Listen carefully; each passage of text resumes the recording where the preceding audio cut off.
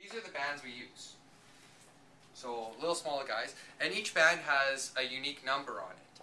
So if this owl's ever caught by us or somebody else, we can track its um, a lot of important information like its mig- migratory route, whether it's coming back year after year after year, where it's spending its life basically. Yeah, when it comes to cute, these owls take the cake. Very awesome little owls. They love their head scratch. So, Does it really? Look at it. It's just loving it. So, I, I just can't believe it. so a little solid owl. This is the second smallest uh, owl in Alberta. The smaller one, do you remember what it's called? The Pygmy. Pygmy owl. Yeah, and it's probably, probably about that big compared to the saw. So, yeah, so the bands basically just go around the bird's leg, like so. And they're like a little bracelet. It's bling for the bird. Bling for the bird. And we tighten it up. So it's not squishing the leg at all. It'll never ever come off though. So so it's like wearing a watch or a bracelet. Is there one toe here?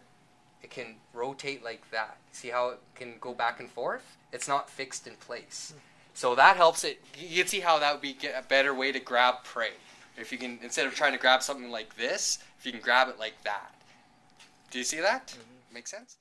Here, we're very subtly taking the wing length of the owl. We do this measurement to determine if the owl's a male or female. Females are larger than males and will have a larger wing length.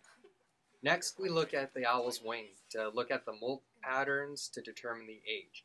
Um, an older owl will have multiple generations of feathers, and you can tell the differences of the uh, feathers by the amount of wear and tear on the feathers.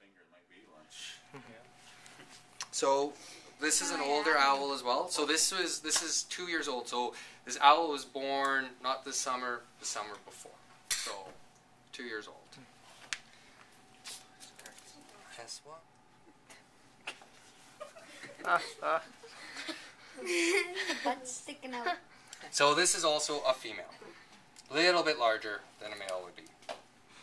What did you get in weight for that, Richard? Uh, 90 grams. Okay, do you want to see the little guy fly away? Mhm. All right, let's go outside.